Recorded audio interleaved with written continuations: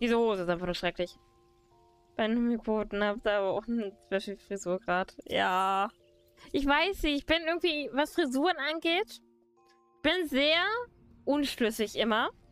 Überlege tausendmal, passt es jetzt, passt es nicht? Kann ich das so machen? Dann, nee, gefällt mir doch nicht, bleib doch beim Alten. So, jetzt mal ja mal kurz Klassenquest. Mein Story-Ziel für heute hatte ich erreicht.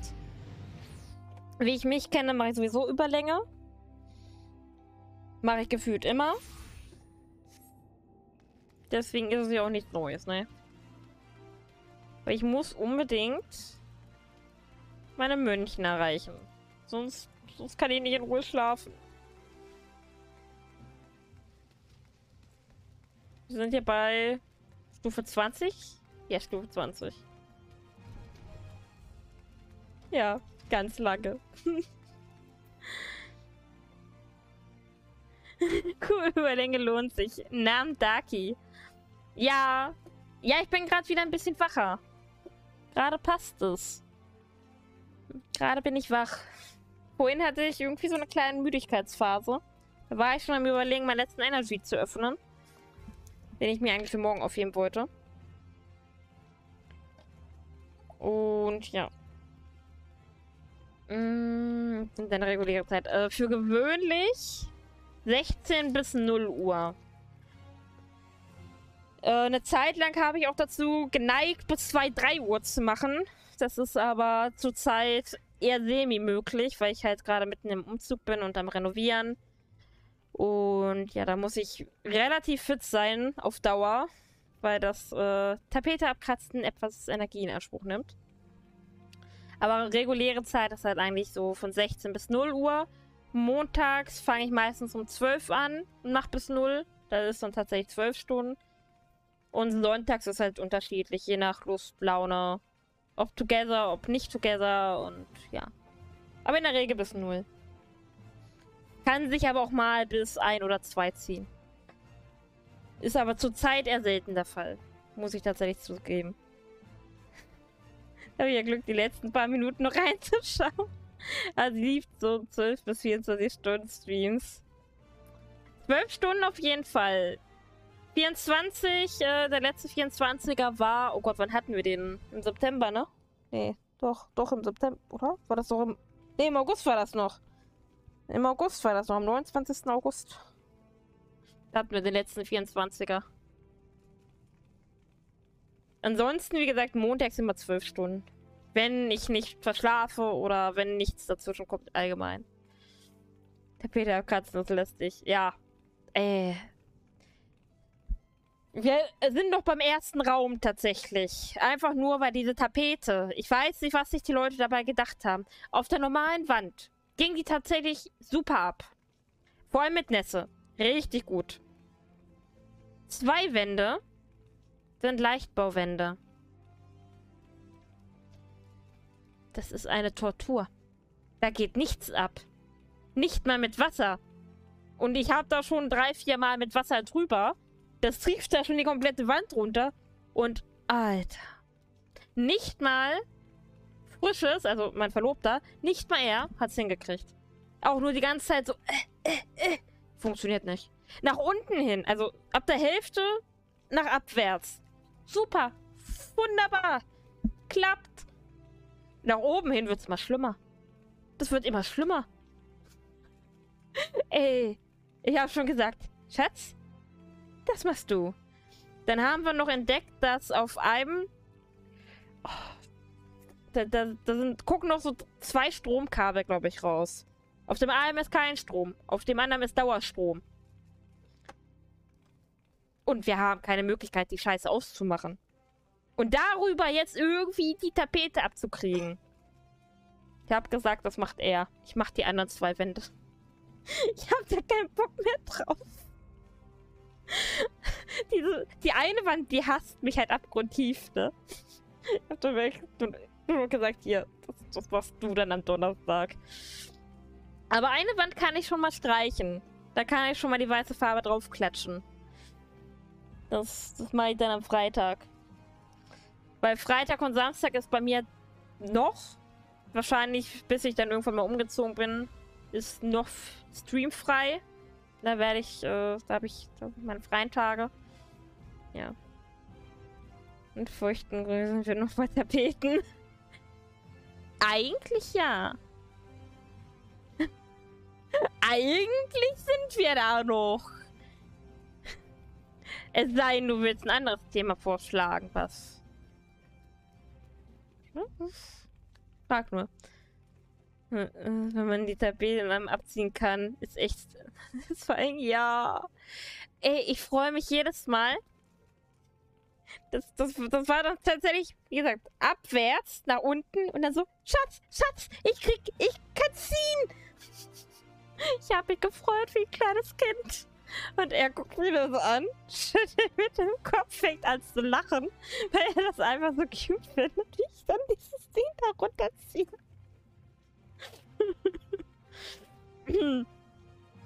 Das, das, ich weiß das fand er irgendwie niedlich. Ich weiß gar nicht, was er gehabt hat. Ich habe mich einfach nur gefreut. Nach, ich glaube, drei Stunden war es, wie ich die ganze Zeit einmal mit so einem Tapetenkratzer, dann, ich, ich, ich weiß gar nicht, mit einem Spachtel habe ich das auch noch versucht. Dann noch mit irgendwas anderem. Und dann klappt es endlich. Also, wie gesagt, da unten schön angefeuchtet. Da ging es dann auch so perfekt abziehen. Nach oben hin kannst du es vergessen.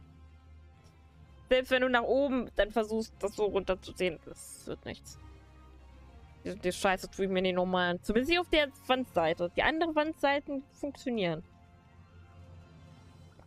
Oh, nee. Ich, ich habe da nur die ganze Zeit drüber gewettert, wer überhaupt Tapeten erfunden hat. Tapeten sind ein Graus. Und dann haben wir auf der einen Seite der Wand noch eine ganz, ganz alte Tapete. Also, die haben eine Tapete über die Tapete gekleistert. Weil sie an, oben zur Decke hin keinen Bock hatten, den Rest abzukratzen. Da haben sie einfach das, das Zeug dran gelassen. Also wir versuchen das irgendwie abzukratzen, weil wir nicht drüber malen können. immer, von, immer von oben und es funktioniert leider nicht. Das ist das Problem. Bei oben geht's nicht. Dann habe ich irgendwann so ein kleines Stückchen konnte ich dann und dann mit den Fingern nochmal so nachgepult und dann ja. Na, wie gesagt, ab der Hälfte ging's. Das ging nicht kannst nicht doch von oben nach unten abziehen. Das wäre schön gewesen, aber... Ne? Ne? Sieht doch total verhunzt aus, diese Wand. Aber egal. Eine ist fertig. Eine, ha eine haben wir hingekriegt. Und ich freue mich darauf, sie streichen zu dürfen. Unbefriedigend, aber richtig. Richtig. Und vor allem, es war ja, Sonntag waren wir das letzte Mal da. Und frisch ist dann so, okay, ich gehe jetzt, äh, ich gehe schon mal runter und esse die, die letzten Stücke Pizza. Dann so, ja, ja, mach mal. Ich, ich bin hier noch zu, am, am Schaffen. Also, bist du sicher, dass du noch weitermachen willst? So, ja, mach. Ich, ich bin gleich da, Schatz. Eine Stunde später. Immer noch am Abziehen. Ich kam dann aber irgendwann runter und habe dann gesagt, so, ich habe keinen Bock mehr. Ja. Der Umzug wird toll und es ist erst der erste Raum. Es folgen noch drei weitere mit Tapete. Ich habe jetzt schon keinen Bock mehr. Weil wir fangen halt beim, beim, beim Streamingzimmer an.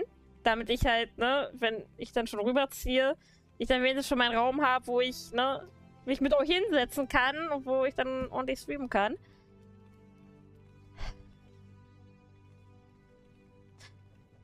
Ich hätte lieber die Fenster geputzt.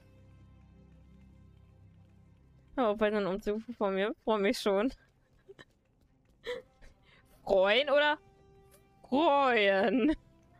Ist es dein Umzug oder hilfst du nur bei einem Umzug? Erst Schlafzimmer, dann Küche, dann Wohnzimmer, dann der Rest. nee. Also, also wir gehen tatsächlich... Ja. Nach der anderen Priorität. Weil ich ja ne, da dann von da aus dann halt auch arbeite.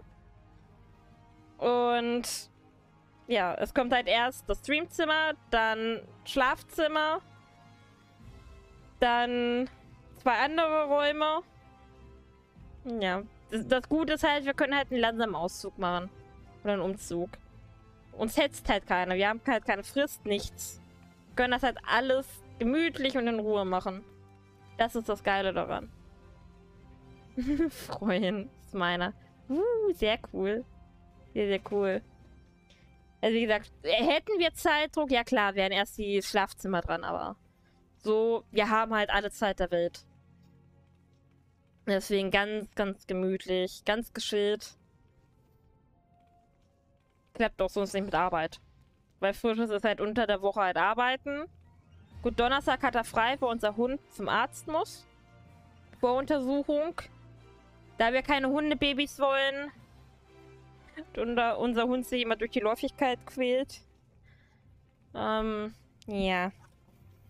Wollen wir das gern unterbinden. Unser Hund leidet immer. Liegt dann meistens nur noch in der Ecke oder ist einfach total überdreht. Eins von beiden. Also, nein. Da hat sie dann erstmal die Voruntersuchung. Dann fahren die beiden hin, machen alles für mich fertig, also kleben alles ab, damit ich am Freitag streichen kann. Freitag hat Frisches dann Termin. Da muss er dann in Außendienst für mehrere Stunden. Das heißt, er fährt mich vormittags hin und holt mich dann irgendwann gegen Abend ab. Und am Samstag sind wir dann nochmal da. Aber Samstag nicht so lange, weil wir abends tatsächlich auf einem Oktoberfest sind. Von einem ehemaligen Wohnort. Das hatten wir vor zwei Jahren gekauft und Karten haben in dem Sinne leider ihre sind leider noch gültig. Da wir das Geld nicht zum Fenster rausgeschmissen haben wollen, gehen wir dann halt zu dem Oktoberfest. Yeah.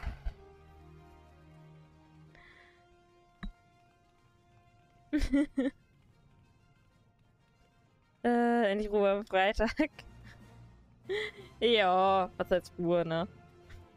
Ich will Oktoberfest, oder? Nein. Nein. Ich glaube, das Oktoberfest, auf das wir gehen, das kennt halt kein Schwein. Bin danach definitiv zufriedener und glücklicher mit dem neuen Wohnort. Dann nehme ich gerne alle Strapazen auf mich, das glaube ich. Bei uns ist es halt genauso. Bei uns ist es halt echt so. Weil Nachbarn doof. Da, wo wir jetzt wohnen, ist es halt zu klein, um die Familie zu erweitern. Dazu haben wir drei Katzen, einen Hasen und einen Hund. Und Fische. Und ja, wir wollen halt uns vergrößern. Und ja. Mit, ich weiß gar nicht, wie viel Quadratmeter Wohnfläche wir hier haben. Ich glaube 65. Das ist für zwei Leute. Und ich hätte halt gern zwei bis drei Kinder. Und das ist halt ein bisschen klein. Privatsphäre ist halt auch null ich hier im Keller, aber ich habe die ganze Zeit die, die Fußstapfen von den Tieren über mir. Ist jetzt auch nicht so geil. Von daher, ich, ich. Oder wir sind beide froh, wenn wir umgezogen sind. Ich bin auf eins eingeladen worden, was abgesagt wurde. No. Also wir hatten tatsächlich bei unserem ähm, einen Tisch bestellt und halt acht Personen. Oder halt für acht Personen. Geplant war eigentlich damals mit meinen Großeltern hin und halt mit Freunden. Ja, mein Großvater ist ja letztes Jahr verstorben. Und gut, wir wussten halt auch nicht, okay, behalten jetzt durch äh, Corona halt die Karten ihre Gültigkeit oder nicht. Und dann hatte Frischus jetzt vor einigen Wochen eine E-Mail gekriegt, dass sie halt ihre Gültigkeit behalten. Und dann waren wir halt am überlegen, weil eigentlich wollte ich nicht, hab mir dann aber gedacht, okay, ist eigentlich zu schade, um, halt, um halt nicht hinzugehen. Und äh, zudem hätte ich sowieso von meinen Großeltern, oder gut, Opa ja nicht mehr, aber von meiner Oma einen drauf gekriegt, weil sie dann wahrscheinlich wieder gesagt hätte, nee, geht dahin. Opa hätte das so gewollt. Und das, ja. Ja, dann haben wir heute das Essen vorbestellt dafür schon. Und ich freue mich drauf, es gibt Brezeln. Wir haben einfach mal viermal Brezeln bestellt. Und noch Ich glaube, irgendwas am Spießbraten. Ich weiß gar nicht genau, was es da war. Wer weiß, Würste sind jetzt nicht so meins, deswegen. Ich bin froh, dass wir äh, da so, so einen Spießbraten dann haben. Wird lecker. Das ist halt 33 Quadratmeter. Und hier aber auch alleine. Ja, gut. Ich weiß gar nicht, wie viel ich vorher hatte. Ich glaube.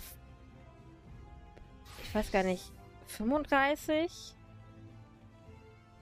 Ich glaube, als ich allein gewohnt hatte, hatte ich auch so 35, 40 Quadratmeter. Ich weiß gar nicht mehr, wie viel das war. Es kann auch mehr gewesen sein. Weiß halt nicht mehr genau, wie. Ich hatte ein großes Wohnzimmer, das weiß ich. Wohnzimmer, Schlafzimmer, ein kleinen Teil vom Flur und Küche war, glaube ich, geteilt. Glaube ich, nicht voll mit drin. Wie lange stehe ich jetzt hier und rede mal wieder, statt zu lesen? Und warum steht da eine nackte Mikote neben mir? Steht nicht über nacktes Delphi. Hm. Oh, du bist es, Adaye. Es tut mir leid, aber ich habe nichts, was ich dir beibringen könnte. Vielleicht hatte ich das auch nie. Du solltest lieber Chuchutu trainieren. Warum fragst du sie nicht einfach mal? Okay. Ich bin's nicht. Nee, das weiß ich. Leitbringer. Okay. Der hat noch was an. Ja, wow. Schüchen und äh, so eine Boxer. Boxershorts. Geil. Es ist jetzt nicht besonders viel. Also du hattest die ausgelockt, ne? Dann kann ich, ja, kann ich das einmal auflösen. Ich befürchte, dass bald auch wieder das andere Ding da kommt. Hm, ich dachte, deine Fortschritte würden Meister Harmon dazu bewegen, sich aufzuraffen. Aber anscheinend reicht das nicht aus. Aber was könnten wir sonst noch tun? Oh, ich habe eine Idee. Es scheint nicht auszureichen, wenn du einfach nur stärker wirst. Aber wenn du haargenau in die Fußstapfen von Meister Harmon triffst, äh, triffst und die gleichen Herausforderungen meisterst wie er in seiner Jugend. Ich möchte behaupten, dass dies seinen Kampfgeist neu entfachen würde. Hör gut zu, Adaya. Meist äh, der Meister hat mir einst erzählt, dass er seine Kom Kombo-Techniken verfeinert, indem er tödliche Kreaturen dazu, dazu provozierte, auf ihn loszugehen. Zu diesem Zweck hat er sich häufig in den südlichen Teil von Knochenbleich begeben, um die Hornissenwolken dort zu bekämpfen. Die Baumstämme, auf die er zu jener Zeit einschlug, tragen noch immer die Spuren seiner Fäuste. Ich möchte, dass du diese Bäume ausfindig machst und das Meister Harmon gleich tust. Prügele mit Schlag auf Schlag auf sie ein und erledige die erscheinenden Hornissenwolken. Wenn du genügend der Kreaturen erschlagen, die ihre Stachel gesammelt hast, kehre ich hierher zurück und zeige sie Meister Harmon. Bin mir sicher, sie werden ihn an bessere Zeiten erinnern. Ja, schön. Ein toller Job. Ein toller, toller Job.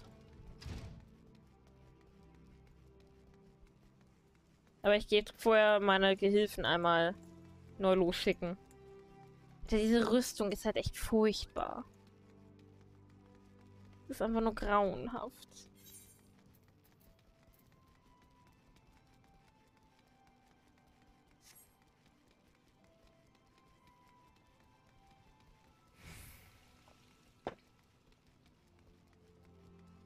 So, bei Garuda habe ich ja eine ganze Weile jetzt Zeit, ne? Glaube ich.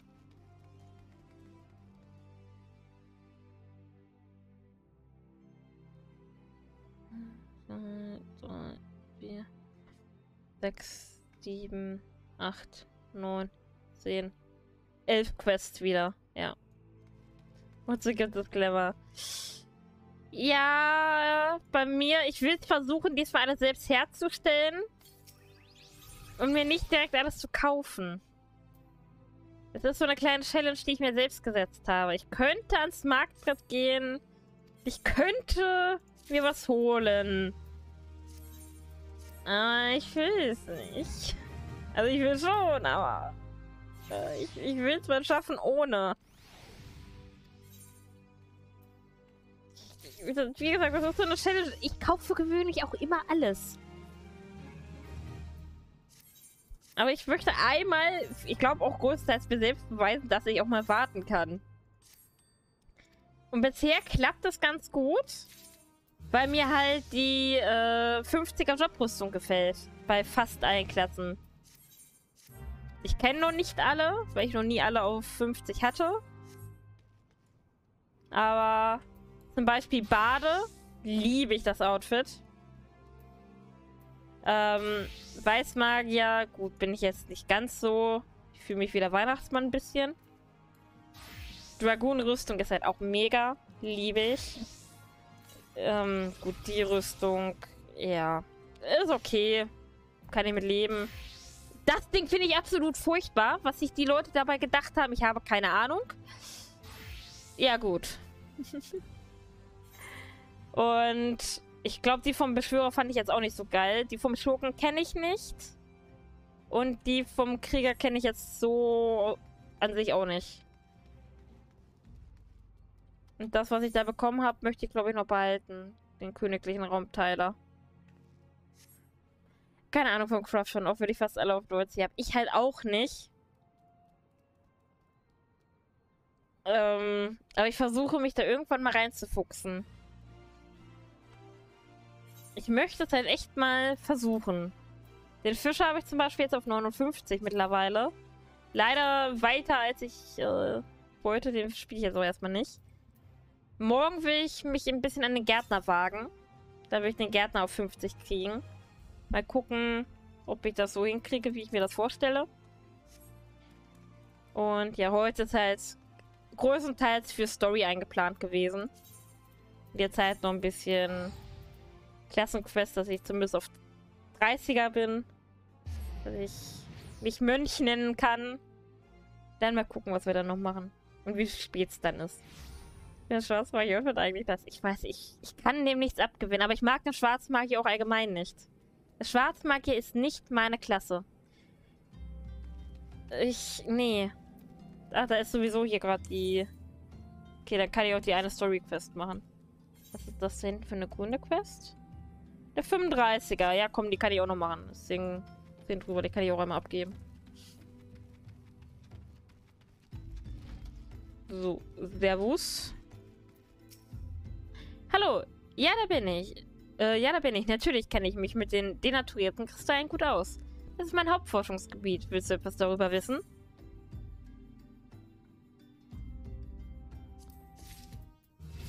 Oh, 46.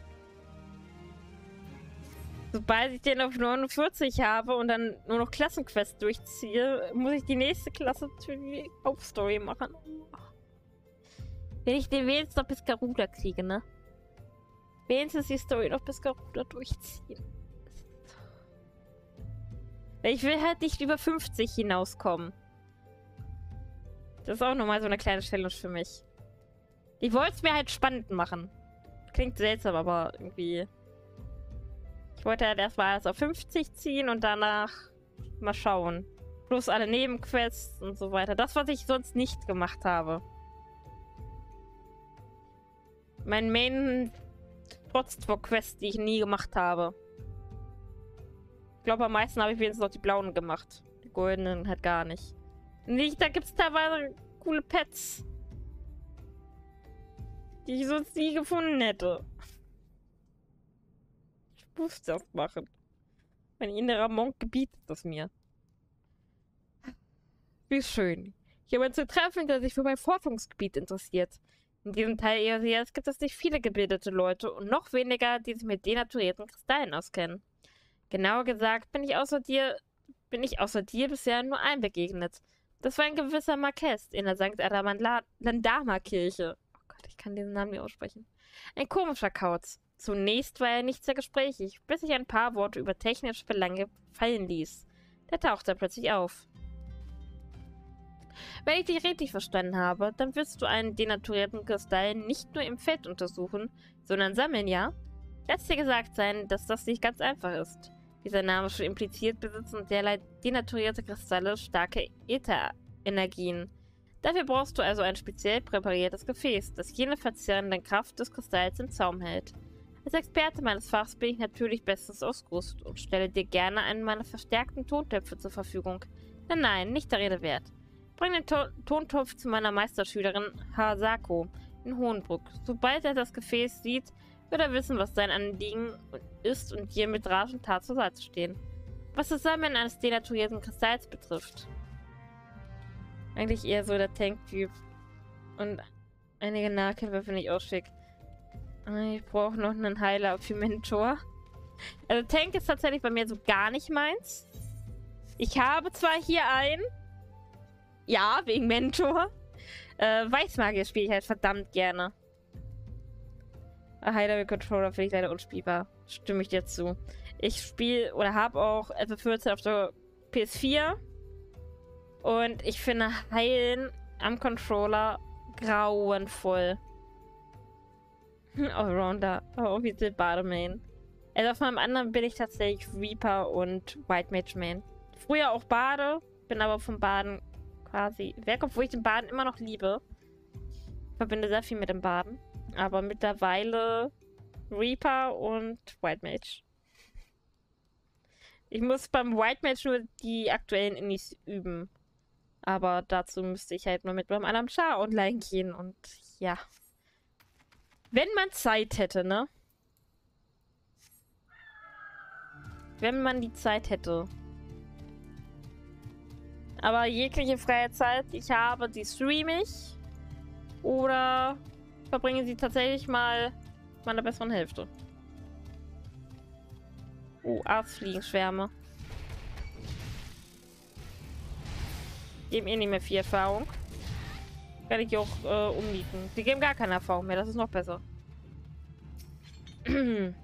Deswegen äh, stirbt.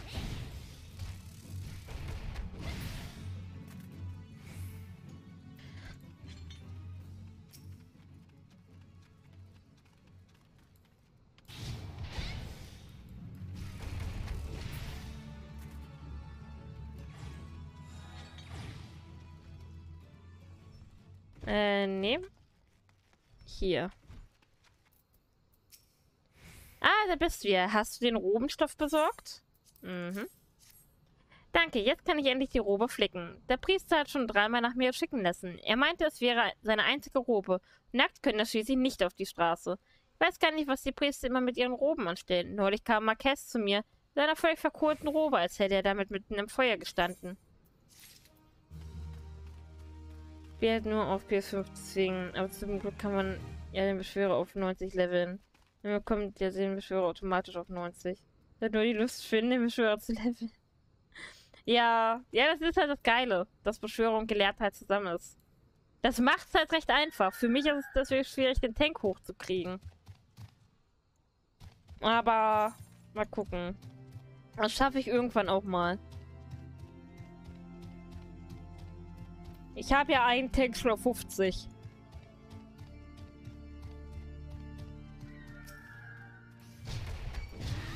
Oh, ich habe mein Schokobuch schon gar nicht mehr draußen. Gut, bringt mir hier auch nichts, aber egal.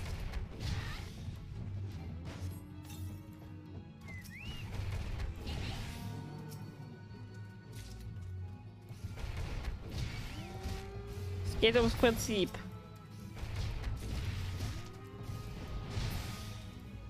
Könnte ja in ein Gebiet kommen, wo ich ihn brauche. Paladin ist am einfachsten, wenn ihr das hilft. Da haben mir viele gesagt. Ich habe ihn auch schon auf 50. Haben tue ich ihn.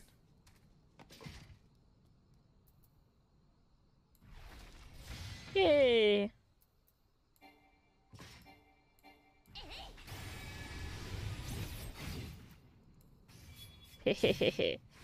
Okay. Genug rumgealbert.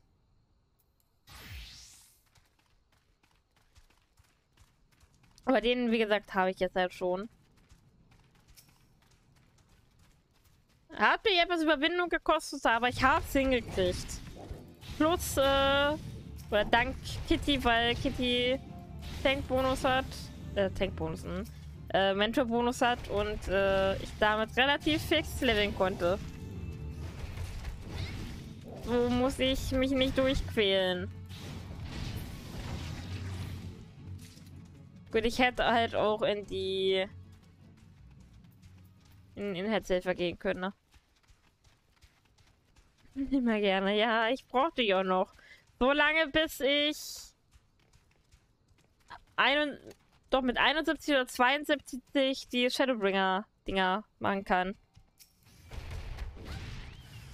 Und dann nicht mehr mit echten Menschen in eine Inni muss.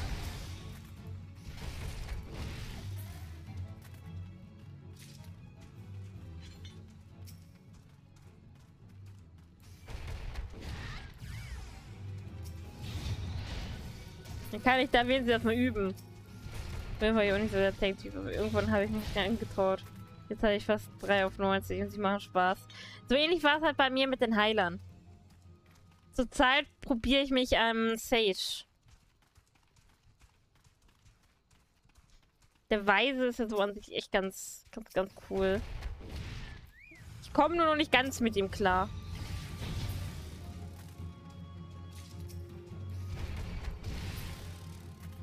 Kommt was Dickes.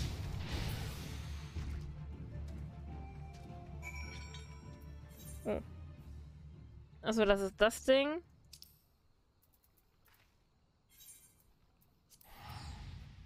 Oh. Nirodi, Hallöchen. Wunderschönen guten Abend dir. Äh, halt ja, glaube ich, mehr über Damage. Oder ja, der, der Sage halt über, über Schaden.